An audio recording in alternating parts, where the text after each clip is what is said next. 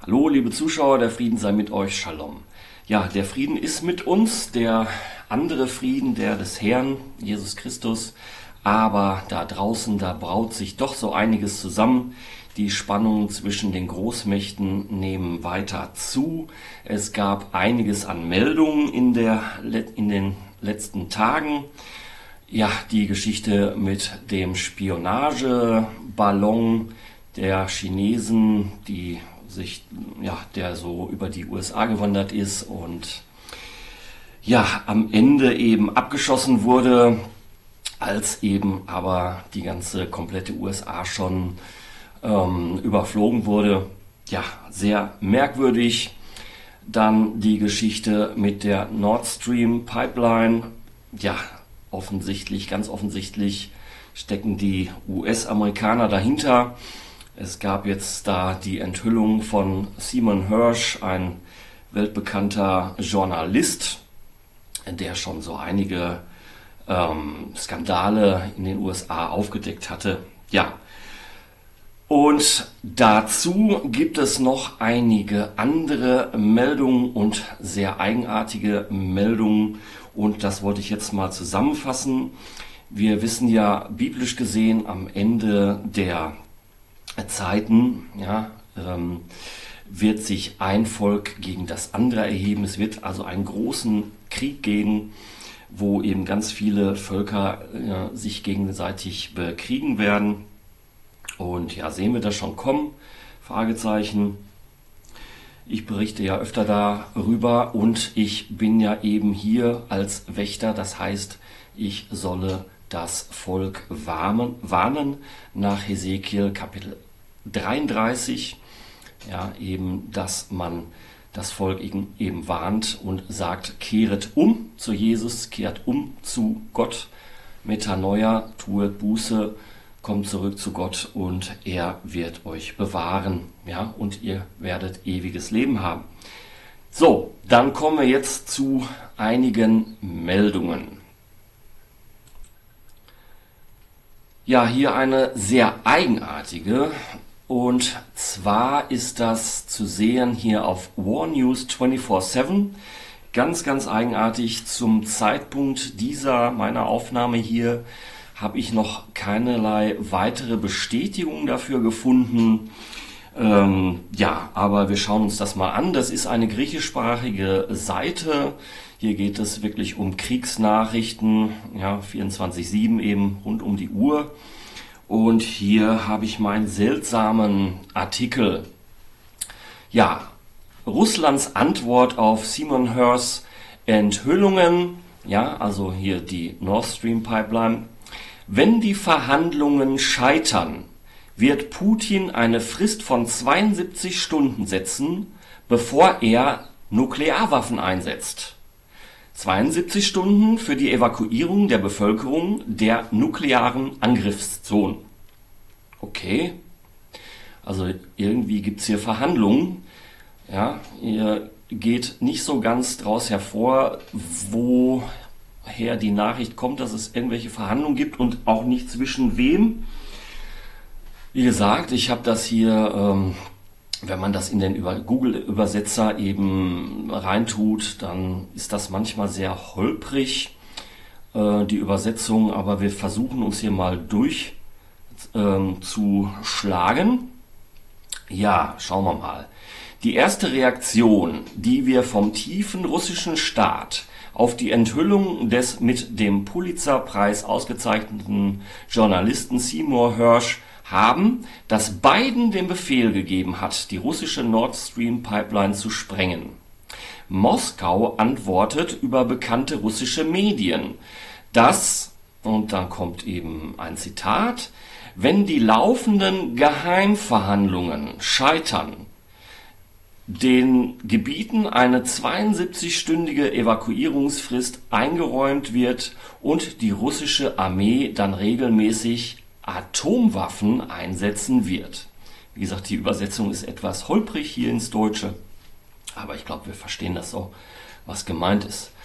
Ja, öffentlich geht es wohl um die Westukraine, also da, wo auch die Hauptstadt ähm, Kiew liegt. Und hier geht es weiter. Der Titel des russischen Artikels lautet 72 Stunden vor dem Einsatz taktischer Atomwaffen.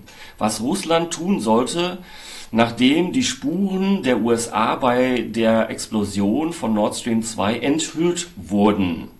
Ja, diesen Artikel, der wurde hier leider nicht verlinkt. Ich weiß es noch nicht, was, was das für. Ich kann auch kein Russisch.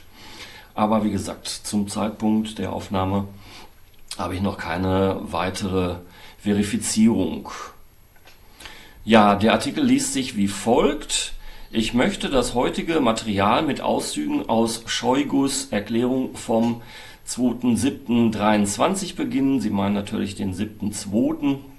Also wie gesagt auch falsch übersetzt hier. Und hier dieser Scheugus er äh, oder äh, sagt eben Folgendes.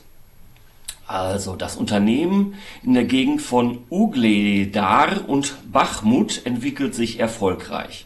Also das militärische Unternehmen.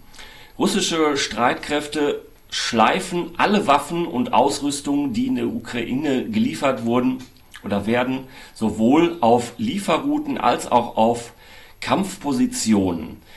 Die ukrainischen Verluste beliefen sich im Januar alleine auf mehr als 6500 Militärangehörige, 26 Flugzeuge, 7 Hubschrauber und 341 Panzer. Ja, und dann die Bezirke Solidar und so weiter und so fort, kann ich alle nicht so richtig aussprechen. Ja, wurden infolge aggressiver Aktionen russischer Truppen befreit. Ne, also einige Bezirke hier wurden offensichtlich befreit. Das ist eben ein ja, Auszug aus Scheugus Erklärung. Tja, dann heißt es hier weiter, Entmilitarisierung der NATO in Anführungsstrichen, würde das hier mal sagen. Ja, was Sie hier beachten müssen, ist, dass wir uns bereits für ein Jahr des Kampfes mit den Streitkräften der Ukraine befasst haben. Jetzt entmilitarisiert die russische Föderation NATO-Militärausrüstung. 341 Panzer pro Monat, 26 Flugzeuge und so weiter. Wie viele Panzer hat die NATO versprochen? Gerade in der Ukraine 321. Dies ist ein Arbeitsmonat der Streitkräfte der Russischen Föderation. Ja, also man sagt hier, ja, was die NATO da jetzt liefert, das ist innerhalb eines Monats äh, von der Russischen Föderation eben zerstört oder wird dann zerstört werden. Der britische Verteidigungsminister Ben Wallace sagte, London werde Kampfflugzeuge nicht sofort in die Ukraine verlegen. Ja, ja, die versprechen immer groß und dann ziehen sie sich zurück. Der Transport eines Kampfjets könnte Monate dauern, sagte er. Stattdessen hat Großbritannien Langstreckenraketen und Drohnen versprochen. Der Kreml glaubt, dass die Lieferung westlicher Waffen an die Ukraine von der zunehmenden Beteiligung einiger Länder an dem Konflikt und seiner Umwandlung in einen schmerzhaften zeugt. Also das ist wirklich komisch übersetzt, ja. Dann kommt hier ein längerer Abschnitt, da geht es nochmal um Simon, Simon Hurst, um die Geschichte hier mit Nord Stream 2. Ähm, ja, wie gesagt, da ist ja schon viel, viel, viel zu gesagt worden, auch in den, ja, in den Medien, beziehungsweise hier auf äh, YouTube und in den alternativen Medien. Wir schauen aber nochmal hier nach unten. Und hier steht auch nochmal was von dieser 72 Stunden Frist. Also, hier heißt es Frist 72 Stunden vor dem Einsatz von Atomwaffen. Das Spiel ging auf Kollisionskurs. Alles, was Sie jetzt sehen, ist ein Versuch, den Konflikt zu deeskalieren, indem er eskaliert. Ja, die Brettsituation nähert sich dem Ende des Spiels und die Seiten bringen ihre größten Trümpfe heraus, die sie für die letzte Minute gerettet haben. Sie versuchen, ihre Verhandlungsposition zu verbessern. Der Kreml demonstriert Verhandlungsbereitschaft und Geheimverhandlungen laufen. Da können Sie sicher sein.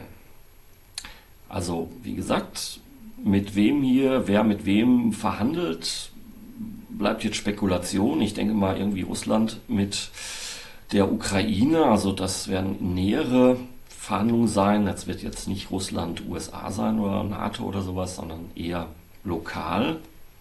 Ja, aber wenn ein Deal scheitert, wird der Kreml den ganzen Weg gehen. Bis hin zum Einsatz taktischer Atomwaffen und strategischer Atomwaffen. Daran glaubt der Westen nicht, wenn Moskau 72 Stunden Zeit gibt, um die Bevölkerung der nuklearen Angriffszonen zu evakuieren, werden sie es glauben. Ich hoffe, dass wir nie dazu kommen. Ja, mm, es gibt wahrscheinlich Geheimverhandlungen und auch ein, ja, eine Frist, die 72 Stunden Frist, das drei Tage.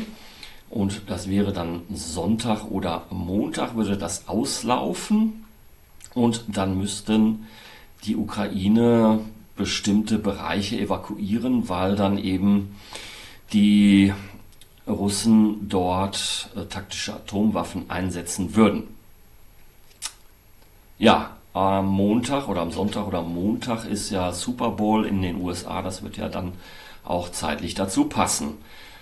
Okay, also was gibt es sonst noch aus der Westukraine? Da äh, gibt es auch verstärkte Kämpfe. Ja, die Russen möchten jetzt wahrscheinlich sich eher dem Westen der Ukraine äh, zuwenden, beziehungsweise dort ähm, den Nachschub eben aus den NATO-Ländern, aus den westlichen Ländern abschneiden. Scheint wohl darum zu gehen, weil es gibt da, es gab jetzt schon eine größere Offensive der Russen in der Westukraine oder auf vereinzelte Ziele. Ähm, es hieß sogar, dass Raketen oder Drohnen sogar die Gebiete von Rumänien, also einem NATO-Mitglied, überquert hätten und auf jeden Fall auch Moldawien und ja, seltsame Dinge. Also es gibt hier auch einen Angriff auf eine sehr wichtige Brücke. Und zwar haben wir hier eine äh, Meldung mit Video.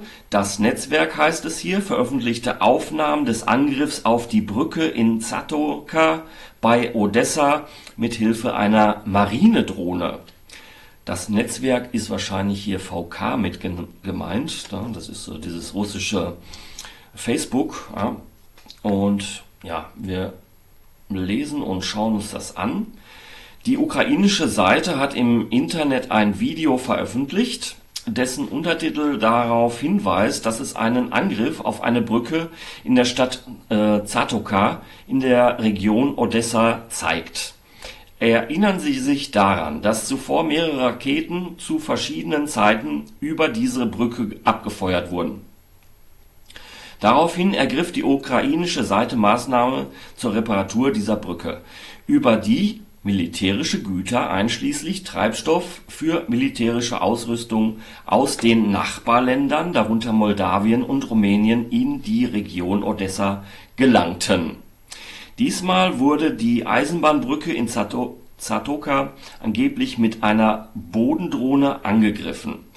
Auf den untenstehenden Bildern, die auf den 10. Februar 2023 datiert sind, zumindest ist eine solche Aufschrift auf den Bildern der Überwachungskamera zu sehen, ist zu sehen, wie sich das Objekt mit ziemlich hoher Geschwindigkeit durch das Wasser der Brücke nähert. Sobald es sich direkt unter der Brücke befindet, kommt es zu einer Explosion. Also nicht mit einer Bodendrohne, ja, wahrscheinlich falsch, äh, falsch übersetzt, also mit einer äh, ja, Wasserdrohne oder einer schwimmenden Drohne. Die Berichte besagen, dass sich die Drohne vom Schwarzen Meer aus bewegte. Es sei daran erinnert, dass die ukrainische Seite in der Vergangenheit wiederholt versucht hat, Objekte der Schwarzmeerflotte RF, darunter auch Schiffe in Sevastopol, mit Marinedrohnen anzugreifen. Die meisten dieser Angriffe wurden von Otschakow in der Region Mykolajiw aus durchgeführt. In der Folge wurden mehrere Angriffe auf militärische Ziele in Otschakova oder Kovo durchgeführt. Mindestens zwei davon wurden gestern von den Streitkräften der Russischen Föderation durchgeführt, darunter ein Angriff mit einer Drohne vom Typ Geran. Es gibt keine offizielle Bestätigung, dass der Angriff auf die Brücke in Zatoka von russischer Seite durchgeführt wurde. Also zum Zeitpunkt, wo ich das Video hier mache. Ne? So, also schauen wir uns das hier an gibt hier eine Explosion. Das ist eine Eisenbahnbrücke, eine ganz wichtige, wo eben Nachschub kommt aus den Nachbarländern. Mal gucken, ob wir das hier sehen können. Вот он идет. Это в реальном времени, да? Да, это реально. Это, не, это беспилотник, вот он сейчас шарахнет. Второй был такой же? Нет, один. Вот он, видите, с той стороны. Тварь не камера, вот сейчас, что там сейчас происходит? Ja, die scheint tatsächlich hier im Wasser gekommen sein, eine ja, Unterwasser- oder eine Schiffsdrohne, ja, Kamikaze-Drohne. Und wie gesagt, das Ganze auf VK zu sehen, deshalb Netzwerk. Ja, wir schauen uns das hier vielleicht mal auf der Karte an. Ja, hier haben wir Odessa und hier haben wir dieses, äh, diese, diese Brücke, wo, wo ich jetzt hier meinen Mauszeiger habe. Zatoka. Und das ist eben diese wichtige Eisenbahnlinie hier, die wir sehen, ja, hier am, an der Küste entlang sozusagen, die dann hier nach Galatz in Rumänien führt.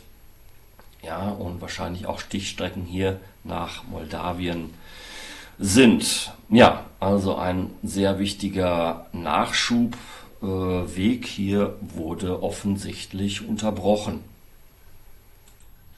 Ja, es geht Schlag auf Schlag. Die USA haben ja auch bekanntlich Probleme mit den Chinesen. Ne? Unter anderem ja auch wegen diesem komischen Spionageballon. Da gab es jetzt auch noch einen Abschuss ähm, an der Küste von Alaska. Da zu diesem Zeitpunkt des, der Aufnahme hier weiß ich nicht genau, was es war. Man sagt, es sei wieder ein, ein chinesischer Ballon gewesen, kann aber auch ein russischer sein. Muss man dann sehen. Aber hier, US startet unbewaffnete ICBM in den Pazifik inmitten der Spannung zwischen China und Nordkorea. Ja, die US-Luftwaffe hat von Kalifornien aus eine unbewaffnete Minuteman III Interkontinentalrakete gestartet, um ihre nukleare Einsatzbereitschaft zu demonstrieren. Ja, das ist wirklich hier eine Demonstration.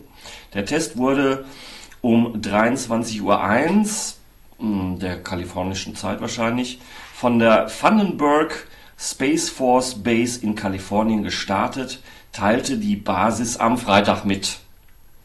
Es handelt sich um eine Routineaktivität, die zeigen soll, dass die nukleare Abschreckung der Vereinigten Staaten sicher, zuverlässig und effektiv ist, heißt es in der Mitteilung. Ein Teststart zeigt das Herzstück unserer Abschreckungsmission auf der Weltbühne und versichert unsere Nation und ihren Verbündeten, dass unsere Waffen fähig und unsere Luftwaffenangehörigen bereit und willens sind, den Frieden, den Frieden auf der ganzen Welt zu verteidigen, sagte General Thomas A. Bussier, Befehlshaber der Air Force Global Strike Command. Hm, yes. Peace. Ja, Matt Getz fordert Biden auf, TikTok in die Luft zu jagen. Also TikTok als Synonym hier für China. oder ähnliches, ja, oder Satelliten. Ne? Nachdem das US-Militär einen mutmaßlichen chinesischen Spionageballon abgeschossen hat. Ein Team des Air Force Global Strike Command hat am 9. Februar 23 um 23.01 Uhr von der Vandenberg Space Force Base in Kalifornien eine unbewaffnete Minuteman III Interkontinentalrakete mit einem Test Wiedereintrittsfahrzeug gestartet. Heißt es hier. Ja, hier sehen wir auch mal Bilder. Ja, also hier zeigt man also auch Stärke, Abschreckung gegenüber China und auch Nordkorea. Ja, man munkelt auch, dass äh, dieses abgeschossene mm, Objekt dort in Alaska vielleicht auch von Nordkorea stammen könnte. Wie gesagt, es geht halt immer weiter. Die Spannungen nehmen zu, ja, und der General möchte hier den Frieden sichern, ganz klar.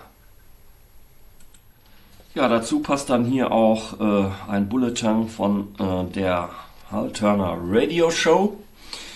Ja, Russland ändert Nuklearpolitik, um präventiven Erstschlag zu ermöglichen.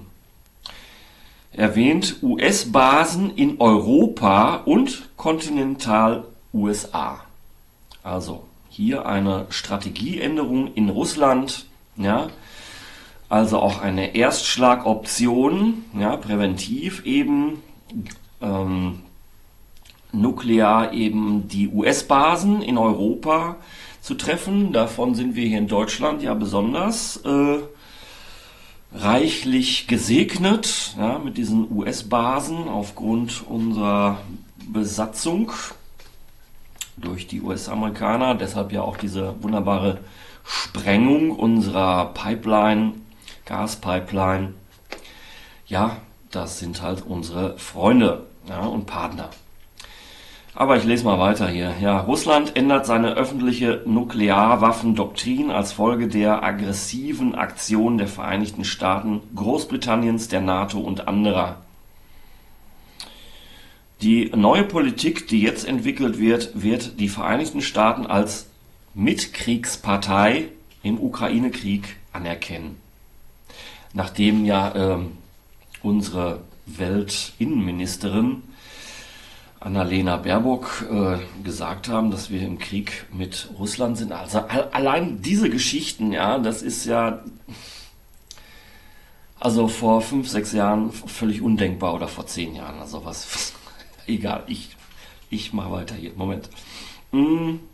Gestern wurde in britischen Medien bekannt, dass die Ukraine bereit ist, britische Langstreckenraketen einzusetzen, um die annektierte Halbinsel Krim anzugreifen. Okay? Ja, also, da macht sich natürlich die Briten besonders stark, machen sich, also stehen sie besonders stark im, im Vordergrund hier, ne? Ja, der ukrainische Präsident Volodymyr Zelensky drängt auf die Lieferung von Kampfjets und Langstreckenraketen durch den Westen und warnt, dass der Krieg ohne diese Mittel stagnieren könnte. Ja, der britische Premierminister äh, Rishi Sunak hat auf diese Bitte reagiert und zugegeben, dass nichts vom Tisch ist, wenn es um die Bereitstellung von Militärhilfe durch das Vereinigte Königreich zur Bekämpfung der russischen Invasion geht. Ja, also Zelensky hat ja auch schon wieder seine Europatour hinter sich, ja, wo er dann eben auch bei den Briten war und überall äh, EU-Parlament und und und und äh, Vertreter des EU-Parlaments oder der EU, nicht des Parlaments, also der EU, waren ja auch in Kiew und ähm, dann war er sofort wieder in, in, in Brüssel. Ja, äh, egal. Hm. Ja, was steht hier sonst noch? Im russischen Staatsfernsehen wurde Anfang dieser Woche bekannt, dass Russland auf eine Politik der taktischen Nuklearschläge zur Vorbeugung hinarbeitet, ähnlich wie die Vereinigten Staaten. Wenn die Ukraine die Krim und das russische Kernland angreift, wird Russland nach den jetzt ausgearbeiteten Plänen reagieren, also präventiv. Ne? Hm, diese Pläne sehen Gegenschläge gegen US-Militäreinrichtungen in Europa und gegen das Festland der Vereinigten Staaten mit Hyperschallraketen vor. Diese Androhung von Gegenschlägen in Europa und den USA wird öffentlich und ausdrücklich gemacht, damit niemand im Zweifel darüber ist, was vom Kreml zu erwarten ist.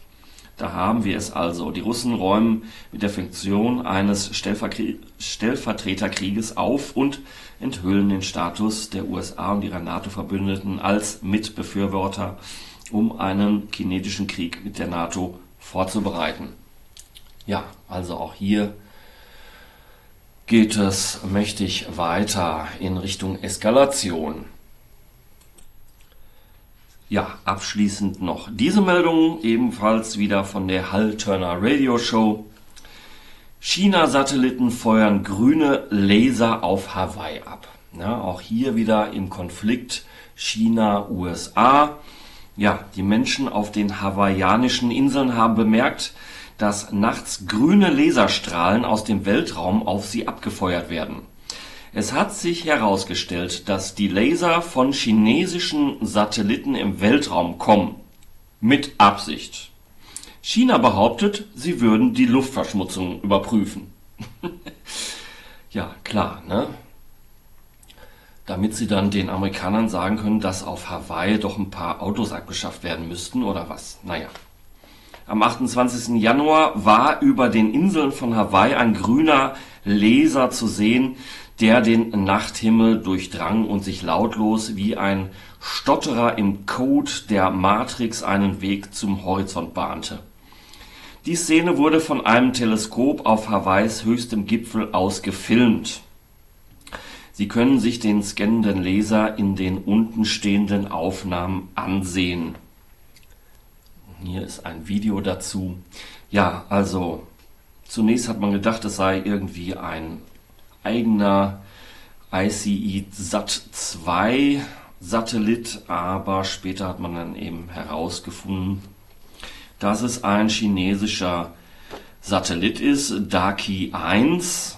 Er wurde im April letzten Jahres gestartet und ist ähnlich wie ISAT 2 ein Satellit zur Überwachung der atmosphärischen Umwelt. Hm, naja.